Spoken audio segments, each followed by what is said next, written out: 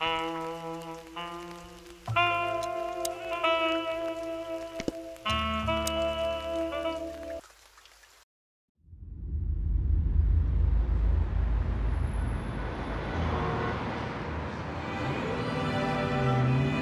ran out to get a pack of cigarettes, but I left my wallet at home. Yeah, that's me. I'm getting old.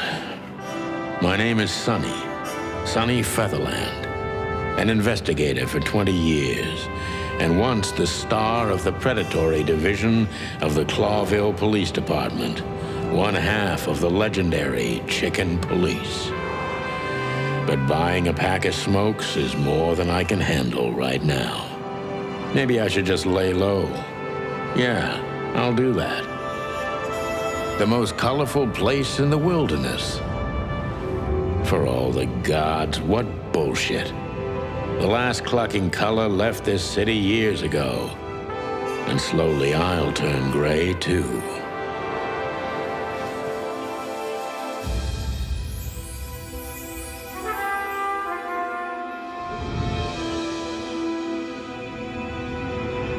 Still, what do I expect?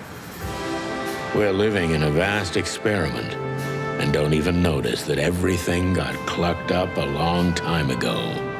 We believe in this wonderland of peaceful coexistence. Wolves and sheep, chickens and hounds. Yeah, sure, why not?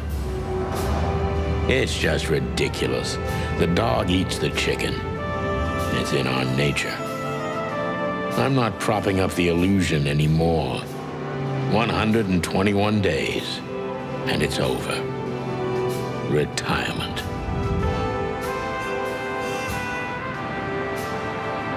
What could possibly go wrong?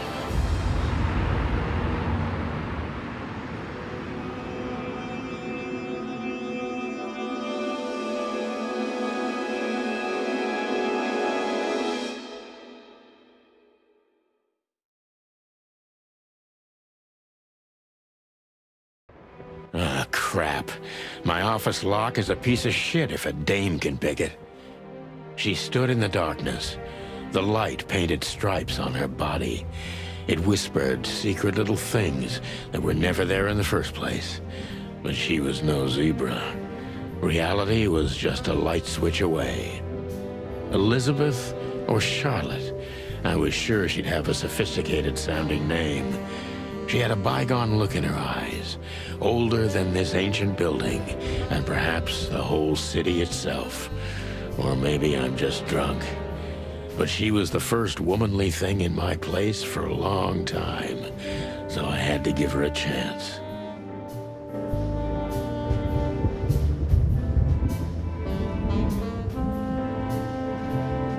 Every whiskey has the same color nowadays, at least in this price range. I promised myself I'd write a novel one day.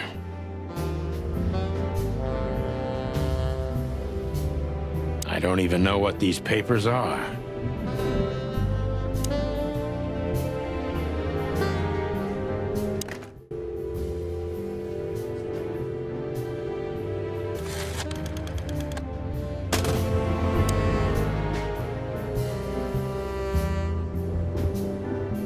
Books I'm never gonna read.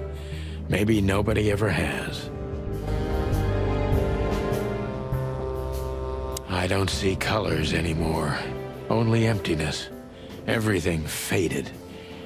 I need another drink. I don't even know where the key is. Whatever's inside is gonna stay there forever.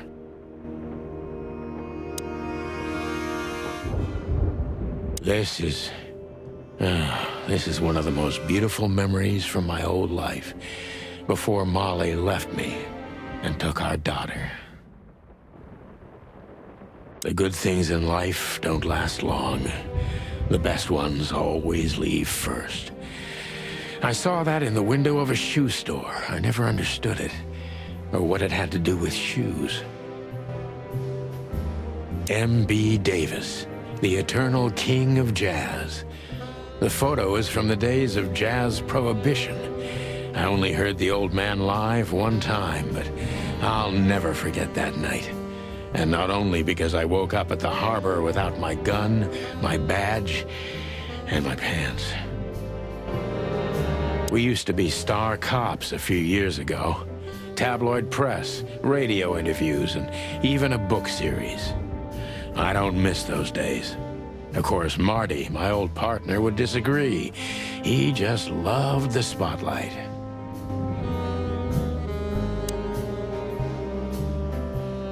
The Wild Gentlemen. Those guys rebuilt the city after the Great Fire of 867. My heroes when I was a little chick. I'm starting to think they should have left Clawville as it was, burned to the ground.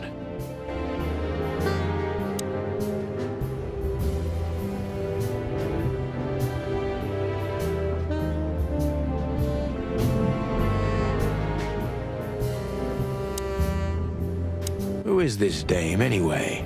And what the cluck is she doing in my apartment on New Year's Eve? Legs that go on for days. Let me introduce myself. My name is Deborah, Miss Deborah Ibanez. You're mistaken, ma'am. Oh, really? Please enlighten me, Mr. Featherland. I'm not a private eye. I'd recommend Philip... Oh, I mean, Mr. Philmar Lowe instead of me. He's a nice guy. Believe me, Mr. Featherland, it's not an accident I came to you. Look, miss, I work for the police, and I'm currently on leave. I couldn't accept private commissions even if I wanted to. Not even from a classy dame like you. Am I that easy to read? That's my job. But tell me, since you've invited yourself in, would you like a drink? I don't... I don't usually drink. Well, I've gotta have one. And it'd be rude of me to drink alone. So, maybe some sherry? If you insist. But bourbon, please. Ah, thank the wild ones. That's all I have. What a coincidence. So come on, spill it from the beginning.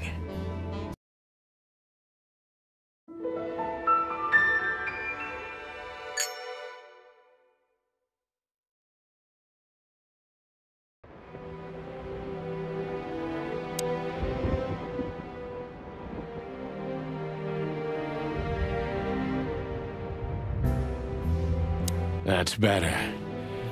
Now, if I understand correctly, your mistress is receiving threats. What kind of threats, exactly? It's a very strange matter. First, there were letters. Then it came printed on a wine bottle's label, sent as a gift. Then carved into a brick, thrown through the window.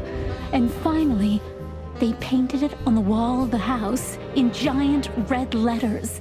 I think it's time to dig a little deeper. If you don't mind, I'd like to ask you some routine questions.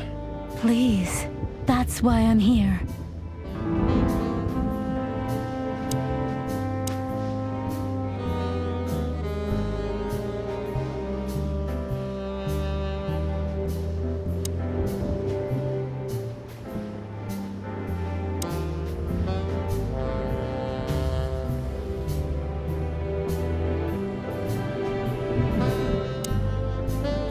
Must be cautious and smart. This dame seems shy, which I can use to my advantage. But I must be careful about what I say to her, or I could scare her off. Let's start gently, and when the time comes, we can go in hard.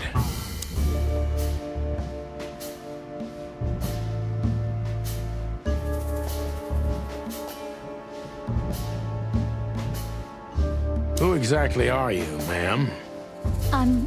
I'm not somebody important, Mr. Featherland. You're important.